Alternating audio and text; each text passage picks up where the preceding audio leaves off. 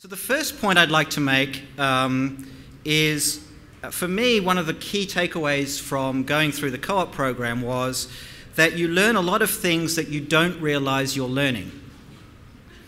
Um, and I have a specific example to give you guys. So, one of the projects that uh, I worked on, uh, I think in my second year uh, in the BIT program, uh, was a programming project with three other members of the course in a team. Um, and the task at hand uh, was to create a system for checking out videos at a video rental shop uh, using COBOL. So, uh, both the product and the technology obviously still around today, very important. Uh, the video rental industry and COBOL programming.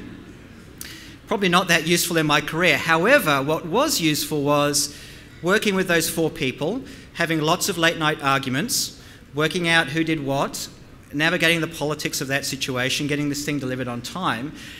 In retrospect, that was the value of the lesson. I thought it was all about learning how to, you know, go through your COBOL header and make sure everything was in the right place. The value of that experience was actually in learning how to work with other people. Second thing that I learnt in co op and I think this is particularly relevant for, you, for those of you that are recent graduates or still in the program, um, is that industrial training gives you unreasonable confidence. so let me explain a little bit what I, my, what I mean by that. So one of my industrial training sessions was uh, at Unilever. And one of the first jobs that I had was to go through a database of uh, names for nail polish you know, things like, you know, Heaven Sent and Midnight Musk and all this stuff. So, again, not really a skill that I've applied much in my professional career, although I do now have two young daughters, so perhaps it's going to come back at some point. Um, but I think the value to me of going through that industrial training experience was the sense that once I came out into the workforce, I kind of knew how to, to basically navigate that world. And what I mean by giving, it, giving us unreasonable confidence uh, as, as, Shane has said in his introduction, one of the things I did fairly early on in my career is start a company.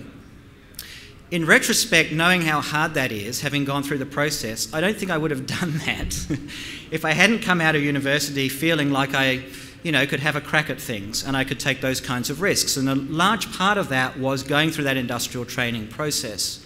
And I think it's very important, obviously, when we talk about the impact the course has in industry, the way in which it can encourage us to take risks and do those kinds of things. And certainly in my field, if you talk about technology, information technology, uh, in particular, the whole engine uh, in our industry is people going out taking risks. And I, I, don't feel that I would have been prepared to do that if I hadn't thought, well, gee, I know the answer to everything, right? I've had 18 months of work experience before I've graduated. But that leads me to my third point, and I'm going to digress a little bit uh, on this, and perhaps not for the first time in this speech, so please bear with me. I was actually uh, on holiday a couple of weeks ago uh, in Mexico. I was sitting by the pool. I was reading um, a book called Why E equals MC squared, uh, which is written basically for uh, dummies like me that want to understand a little bit about uh, Einstein's theory of relativity. This is relevant, by the way, I'm going to get to this. it's written by Brian Cox. And a thought struck me. So he's talking in this book about how great theories in science get to fundamental truths. So he talks about, you know, Newton and these other guys came up with their ideas of gravitation and so forth, but they weren't really right. They had to kind of get beneath the surface of these things to work out what was going on. And the more I thought about the first two things that I've touched on, the more it occurred to me that there is actually a third thing that underlies all of this, which is really to me the great value of the co op program, and certainly the great value to me over the last 25 years. And the best way I can put it is that the most important stuff uh, is the soft stuff. So this is a little bizarre because those that know me know that I'm not really known for the softer stuff, tend to be fairly rational. Um, for me to stand up here and talk about relationships, uh, interpersonal relationships and stuff, um, maybe a little strange. But I really started to think about this, and again, this is the second time you'll have to indulge me this evening. I promise I'll be quick. What I actually did is I made a list of all the things, or at least some of the things that I have done with fellow co op scholars. Um, and it's quite a long list, but I'm going to go through it to give you a sense of how deeply we're connected. So uh, I edited Tharunka. Um, I ate bacon sandwiches at 3 a.m. Um, I've best manned at two, uh, two weddings of co op scholars, in fact, both of them between uh, co op scholars. Um, I partied at at least three bachelor parties that I remember. Uh, I started a company. Uh, I ran a company. I sold a company. I, ran, I won an Emmy with other co op scholars. Um, I've attempted unsuccessfully uh, to shave the legs of one particular scholar. Um, he's actually here tonight. Uh, my children now count at least seven, and I'm being conservative here, at least seven other children of fellow scholars as friends. Um, I've been to many places with co-op scholars, Delhi, uh, the bridge over River Kwai, Paris, Munich, etc. More interestingly, I've drunk beer in many places with fellow co-op scholars. Of course, the Uni Bar, uh, a pub in Tooting Bec in London, uh, a Shanghai fish restaurant, uh, the Duke of Edinburgh, uh, it's a very famous um, watering hole in Silicon Valley, the Hofbrauhaus in Munich, uh, a bar in Oakland that was actually held up the next day, and uh, uh, in Patpong in uh, Thailand, although I think I'm exaggerating about that, I think I chickened out and stayed in the hotel that evening.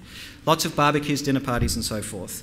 Um, I've played a game of touch football where I'm the only one that got tackled. Um, I've learned to snowboard with fellow scholars.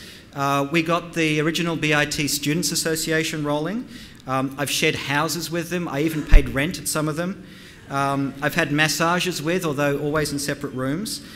Um, I've written bad poetry for members of the co op uh, uh, program. There's been various hookings up and breakings up that I won't go into. Um, I've even ridden a terrifying ride on the top of the stratosphere in Las Vegas that uh, shoots you up into the sky. So, kind of a long and silly list, but I think the point that I'm getting at here, and really what I want to leave you with, is these have been, without any doubt, some of the most formative relationships of my life. And we're not just talking professional, which is obviously the case, starting companies, uh, connected to people, and so forth, but also at a personal level. Um, these are people that have really shaped uh, the last 25 years for me. And to me, this is the real strength of the co op program. The way people are selected, the people that come into the program, uh, the people you get to work with. And in that sense, I really feel today that I'm in everyone's debt, not just my uh, year, of course, but everyone that's here this evening. Um, I'm sure there are equally ridiculous tales to be told in this room amongst all of you. Perhaps I'll see, hear some of them this evening because I'll be drinking, obviously, uh, with the first year there at the back of the bar. And I'm also looking forward to what I know is around the corner in terms of new ventures and new ideas that comes out of this pool. It was very flattering of me to be given the chance to speak. I realise there have been already many great successes amongst the alumni community, and we can only look forward to more, uh, at, uh, for more to come. So with that, I'll let you get on with the drinking. I appreciate your time, and I look forward to meeting some of you later on. Thanks again.